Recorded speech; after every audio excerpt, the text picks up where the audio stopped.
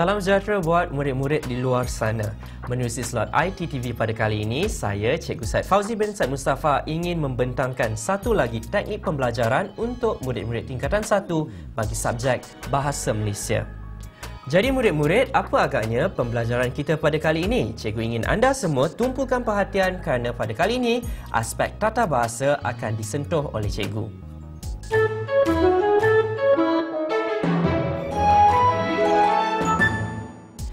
Bahasa Malaysia, tata bahasa penjodoh bilangan. Jadi murid-murid, mungkin kamu tertanya-tanya apa agaknya penjodoh bilangan? Biasanya kita akan memberikan sebahagian ayat seperti sekaki payung, kemudian seorang dan ini yang dikatakan dikatakan sebagai penjodoh bilangan. Seterusnya. Penjodoh bilangan digunakan untuk menunjukkan jumlah atau bilangan. Yang kedua, penjodoh bilangan biasanya digunakan bersama-sama dengan kata bilangan. Penjodoh bilangan tidak perlu digunakan dengan kata bilangan seperti para, sekalian, semua, sebahagian, seluruh, setengah-tengah dan sebilangan. Jadi murid-murid jelas penggunaan penjodoh bilangan merupakan sesuatu yang digunakan untuk menunjukkan satu jumlah. Keduanya, penjodoh bilangan ini biasanya digunakan bersama-sama dengan kata bilangan seperti satu, dua, dua orang, tiga orang. Penggunaan perkataan kata bilangan ini dapat memberikan bantuan kepada penjodoh bilangan. Dan jangan lupa, penjodoh bilangan tidak diperlukan jika perkataan itu mengandungi perkataan seperti para, sekalian, semua, kemudian sebahagian seluruh dan sebagainya. Jadi ingat dan tumpukan perhatian seterusnya. Contohnya, semua orang pekerja, ayat yang salah. Semua pekerja, ayat betul. Seluruh buah kawasan, ayat yang salah. Seluruh kawasan, ayat yang betul. Jadi di sini, penggunaan perkataan semua orang pekerja salah anda hanya perlu guna perkataan semua pekerja. Tidak diperlukan sebarang penjodoh bilangan di situ. Kemudian, seluruh buah kawasan juga seluruh sudah menunjukkan banyak. Tidak perlu sebarang penjodoh bilangan. Seterusnya. Penjodoh bilangan yang pertama, angkatan penerangan. Untuk sekumpulan manusia atau benda. Kapal, tentera, pelukis dan penulis. Yang kedua, batang untuk menunjukkan benda-benda yang panjang seperti sungai, lilin, galah, tiang, pen, pokok dan juga gigi. Yang ketiga, baris digunakan untuk kedudukan benda atau manusia yang berbaris. Contohnya, orang, kedai, rumah, pokok, tulisan dan ayat. Yang keempat, bentuk untuk benda-benda kecil yang berkeluk seperti mata kail, subang dan juga cincin. Jadi murid-murid pastikan anda menggunakan penjodoh bilangan yang tepat untuk angkatan. Angkatan kita gunakan untuk kumpulan seseorang, misalnya seangkatan tentera. Sementara bagi batang pula anda gunakan untuk sungai. Sebatang sungai bukan sebuah sungai. Yang ketiga tentang baris.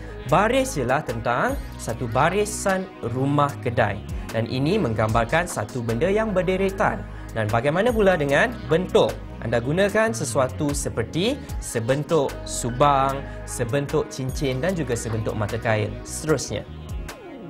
Penjodoh bilangan yang kelima, bidang penerangan untuk benda-benda yang terbentang luas seperti tanah, kain, sawah, permaidani, layar, kebun dan juga tikar.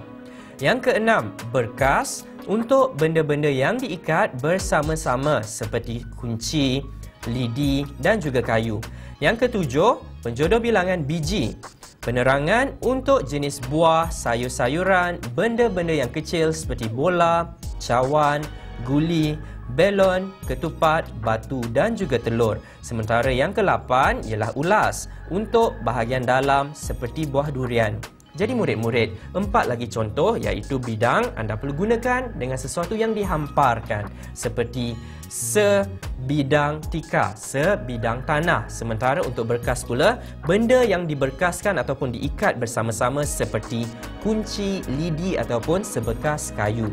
Sementara bagi biji pula, anda perlu gunakan untuk jenis-jenis buah-buahan ataupun mungkin sayur-sayuran. Dan ini digambarkan seperti sebiji bola sebiji guli dan juga sebiji telur. Sementara bagi perkataan ulas pula anda boleh gunakan untuk buah durian iaitu beberapa ulas buah durian. Seterusnya. Pasang untuk benda dan manusia yang berpasangan seperti pakaian, kasut, subang, suami isteri dan juga anak.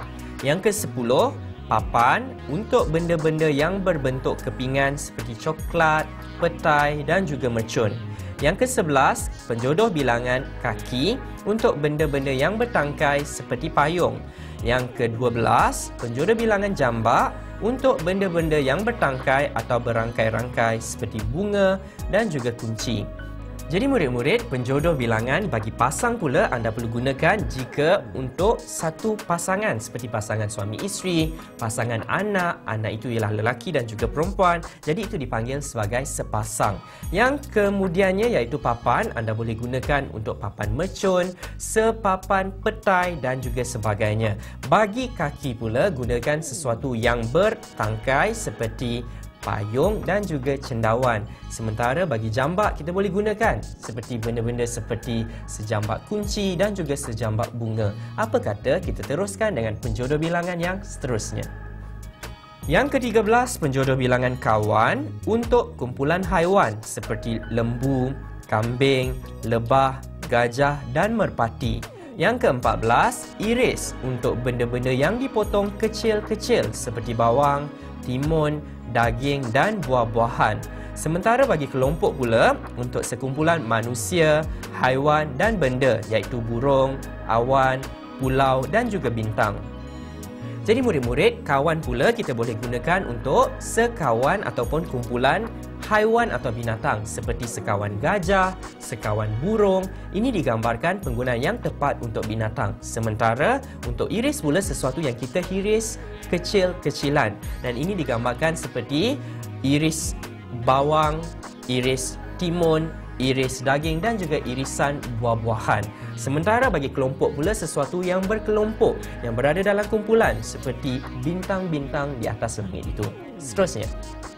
Penjodoh bilangan yang ke-16 ialah keping untuk benda-benda yang nipis atau pipih iaitu roti, papan, kad, gambar, biskut dan tanah. Sementara bagi bilah pula untuk benda-benda yang tajam seperti parang, pisau, golok, gunting, sabit dan juga keris. Jadi murid-murid, keping biasanya kita guna untuk benda-benda yang nipis. Nipis itu seperti sekeping papan, sekeping postcard dan juga sekeping tanah. Sementara bagi bilah pula kita gunakan sesuatu yang tajam seperti sebilah parang, sebilah pisau dan ini yang menggambarkan anda perlu gunakan penjodoh bilangan ini untuk setiap benda yang tajam. Seterusnya. Contoh ayat Bersempena Hari Ibu, saya mengarang seuntai saja untuk ibu. Yang kedua, beberapa pintu premis perniagaan di kawasan itu musnah dalam kebakaran tersebut. Yang ketiga, abang membeli sekotak mancis dan senaskah surat khabar di kedai Wak Rahim. Jadi murid-murid, seuntai sajak digambarkan sebagai satu rangkaian sajak. Apabila kita mengarang satu sajak, kita gunakan penjodoh bilangan seuntai. Sementara premis perniagaan pula, perkataan yang paling tepat yang digunakan ialah pintu. Dan juga untuk mancis yang paling tepat ialah sekotak. Sementara lembaran surat khabar, kita juga boleh gunakan perkataan senaskah. Jadi gunakan penanda wacana yang sesuai. Seterusnya.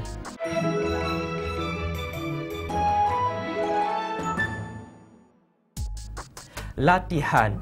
Jadi murid-murid, untuk latihan, pastikan anda menggunakan penjodoh bilangan yang paling tepat. Jika ada sebarang masalah, rujuk kembali nota cikgu ataupun anda boleh gunakan Kamus Dewan Bahasa sebagai rujukan. Seterusnya. Latihan soalan yang pertama. Ayah membeli tiga tempat kosong petai untuk dibuat sambal tumis petai. A. Keping B. Papan C. Tandan dan D. Pucuk. Jadi untuk petai murid-murid, apa agaknya perkataan ataupun penjodoh bilangan yang paling sesuai? Ingat lagi, dalam pembentukan kata, papan digunakan untuk benda-benda seperti petai, untuk mercun dan pastikan anda membaca kembali nota cikgu jika anda ingin mendapat jawapan yang paling tepat. Jadi jawapan yang paling tepat ialah Ayah membeli tiga papan petai untuk dibuat sambal tumis petai.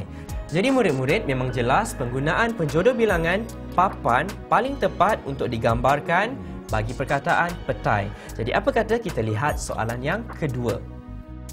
Para pengunjung berpeluang melihat se tempat kosong surat khabar yang dikeluarkan pada kurun ke-18. A. Naskah B. Lembar C.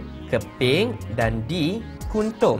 Jadi murid-murid, apa agaknya penjodoh bilangan untuk surat khabar? Surat khabar itu dinamakan sebagai satu kumpulan yang sama dengan buku, sama juga dengan majalah dan apa agaknya rujuk kembali nota cikgu. Jadi jawapan yang paling tepat ialah Para pengunjung berpeluang melihat senaskah surat khabar yang dikeluarkan pada kurun ke-18. Jadi memang yang paling tepat ialah naskah. Naskah digunakan untuk surat khabar, untuk majalah dan juga untuk buku. Jadi gunakan penjodoh bilangan yang tepat. Soalan yang ketiga. Sebagai mengakhiri majlis perpisahan itu, pengerusi majlis telah menyampaikan se tempat kosong saja. A. Baris B. Untai C. Buah dan D. Tandan Jadi murid-murid, apa yang diperkatakan penjodoh bilangan yang paling tepat untuk saja? Ingat lagi, sebentar tadi ada nota diberikan oleh cikgu Jadi jawapan yang paling tepat tidak lain tidak bukan Sebagai mengakhiri majlis perpisahan itu, pengerusi majlis telah menyampaikan se untai saja. Jadi memang paling tepat ya murid-murid seuntai saja. Saja itu digambarkan sebagai untayan kata dan paling tepat memang seuntai saja. Jadi apa kata kita lihat soalan yang berikutnya. Soalan yang keempat, Pak Abu membawa 8 tempat kosong pisang dengan lorinya untuk dijual di pasar malam. A. Tandan B. Bentuk C. Pucuk dan D. Sikat jadi murid-murid, untuk pisang yang diangkat oleh lori, apakah perkataan yang paling sesuai untuk digambarkan? Jadi pilihan jawapan anda perlulah tepat mengikut logik soalan. Jadi apa kata kita lihat jawapan bersama-sama? Pak Abu membawa 8 tandan pisang dengan lorinya untuk dijual di pasar malam. Jadi murid-murid memang tepat penggunaan perkataan tandan pisang yang paling tepat kerana kita menggunakan lori untuk mengangkat tandanan pisang ini. Jadi hati-hati pilihan jawapan mestilah sesuai dengan perkataan yang diberikan. Seterusnya. Soalan yang kelima. Perompak itu melepaskan se tempat kosong tembakan ke arah polis dalam usahanya untuk melepaskan diri. A. Das B. Ketul C. Untai dan D. Ulas Jadi murid-murid, untuk sesuatu yang dikatakan sebagai tembakan, apa agaknya penjodoh bilangan yang diperkatakan oleh cikgu sebentar tadi? Jika mempunyai sebarang masalah, rujuk Kamus Dewan Bahasa dan Pustaka. Jadi apa kata kita lihat jawapan yang paling tepat? Perompak itu melepaskan sedas tembakan ke arah polis dalam usahanya untuk melepaskan diri. Jadi memang tepat ya murid-murid, tiada perkataan lain yang paling sesuai iaitu das sahaja. Kerana tembakan, kita memerlukan perkataan das sebagai penjodoh bilangannya. Jadi apa kata kita teruskan dengan soalan yang ke-6. Beberapa tempat kosong roti yang telah luput tarikhnya dipulangkan kembali kepada penjual. A. Buku B. Butter C. Tandan dan D. Sikat. Jadi murid-murid untuk roti, apa agaknya penjodoh bilangan yang paling tepat? Mungkin buku, mungkin butter, mungkin tandan ataupun sikat. Jadi jika ada masalah, rujuk kembali kepada nota cikgu. Dan jawapan yang paling tepat ialah Beberapa buku roti yang telah luput tarikhnya dipulangkan kembali kepada penjual. Jadi murid-murid, memang buku digunakan jika kita ingin meletakkan penjodoh bilangan bagi roti. Jadi apa kata kita teruskan dengan soalan yang ke-7. Setempat kosong rantai telah dibelikan oleh abangnya kepada tunangnya. A. Utas B keping, C bentuk dan D keping. Jadi murid-murid, apa agaknya penjodoh bilangan untuk rantai? Sama ada bentuk, adakah rantai itu dibentuk ataupun mungkin kita gunakan utas. Jadi perhatikan perkataan tersebut kerana yang kita perlukan untuk penjodoh bilangan ialah katanya ialah rantai. Jadi apa kata kita lihat jawapan yang paling tepat untuk soalan ini? Seutas rantai telah dibelikan oleh abangnya kepada tunangnya. Jadi sekarang memang tepat murid-murid kita tidak menggunakan bentuk kerana bentuk biasanya untuk mata kail, untuk subang dan perkataan yang paling tepat untuk rantai ialah utas. Jadi apa kata kita pergi kepada soalan yang berikutnya. Soalan ke-8. Ayah membeli tempat kosong kasut untuk adik. A. Sepasang B. Sebentuk C. Seuntai dan D. Serangkap jadi murid-murid, perkataan kasut itu, kasut mempunyai dua. Dua itu digambarkan sebagai apa penjodoh bilangannya. Jadi apa kata kita lihat sama-sama jawapannya. Ayah membeli sepasang kasut untuk adik. Jadi murid-murid memang tepat penggunaan perkataan untuk kasut ialah sepasang. Tiada perkataan lain yang tepat kerana biasanya kasut mempunyai dua jenis kasut yang berbeza. Jadi dua ini dikatakan sebagai sepasang kasut. Jadi apa kata kita lihat soalan yang berikutnya. Soalan ke-9. Se tempat kosong pantun telah disampaikan olehnya dalam majlis itu. A. Rangkap B. Bentuk C. Buah dan D. Keping jadi apa agaknya penjodoh bilangan untuk pantun? Ingat, dalam buku antologi Kasut Kelopak Jantung juga ada banyak pantun di dalamnya. Jadi, pantun itu dinamakan sebagai apa? Jadi, apa kata kita lihat jawapan yang paling tepat? Serangkap pantun telah disampaikan olehnya dalam majlis itu. Jadi untayan kata dalam setiap satu kumpulan itu dinamakan sebagai serangkap. Jadi gunakan penjodoh bilangan yang paling tepat untuk pantun. Seterusnya. Soalan yang terakhir. Ibu membeli 10 tempat kosong telur di kedai Wak Seman. A. Biji B. Ketul C. Rawan dan D. Ekor. Jadi murid-murid, apa agaknya penjodoh bilangan untuk telur? Seperti yang dinyatakan oleh cikgu sebentar tadi, rujuk kembali nota sebentar tadi. Jadi jawapan yang paling tepat untuk telur ialah Ibu membeli 10 biji telur di kedai Wak Seman. Jadi murid-murid, untuk telur tidak lain tidak bukan kita menggunakan penjodoh bilangan biji. Pastikan anda merujuk nota saya sebelum ini jika menghadapi sebarang kesulitan. Oleh itu, murid-murid, lengkaplah sudah pembelajaran kita tentang penjodoh bilangan. Pastikan anda menggunakan setiap nota yang diberikan oleh cikgu sebentar tadi. Kerana setiap penjodoh bilangan, kita perlu gunakan pada ayat yang sesuai. Jadi, semoga berjaya daripada cikgu di sini.